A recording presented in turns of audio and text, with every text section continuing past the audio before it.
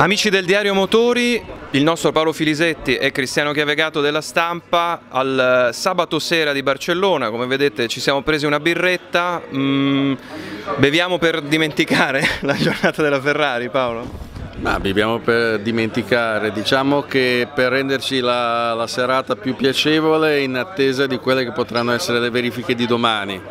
Eh, sicuramente ci eravamo un pochettino illusi o meglio c'erano le motivazioni per esserlo, difatti stamane nella FP3 la Ferrari si era avvicinata molto, il distacco era ridottissimo, poco più di un decimo e questo faceva ben sperare per le qualifiche, le qualifiche invece hanno visto un tonfo, ma più che un tonfo il discorso è che c'è stato un mancato balzo in avanti, mentre tutti, diciamo soprattutto poi le vetture di testa, e in questo caso non solo la Mercedes ma anche la Red Bull hanno migliorato tra gli otto decimi e il secondo rispetto a quella che era la prestazione delle, delle prove libere eh, Ferrari è rimasta ferma sostanzialmente sui tempi eh, delle prove libere e questo ha causato il fatto che alla fine si trova in terza, terza fila. fila. E c'è stato anche un po' di mistero riguardo ai motivi reali, cioè anche i tecnici del Cavallino hanno studiato molto per cercare di capire. Tu alla fine che idea ti sei fatto? Ma i misteri, sai, il dato macroscopico è che eh, sicuramente le gomme eh, sono uscite dalla classica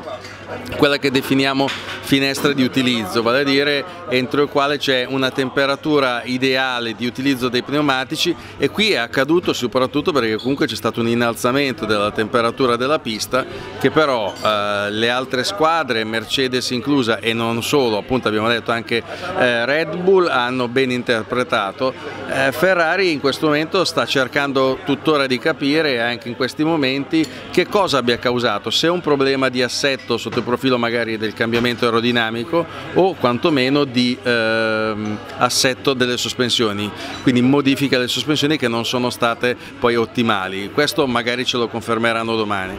Cristiano, mm, come hai visto tu la giornata e soprattutto ci possono essere delle speranze di miglioramento per domani in gara? Ma loro pensano di sì perché la Ferrari dicono alla Ferrari fa sempre meglio la gara delle qualifiche. Però non ci crederei molto perché la Red Bull sono molto determinati, molto contenti della macchina, Ricciardo era non felice di più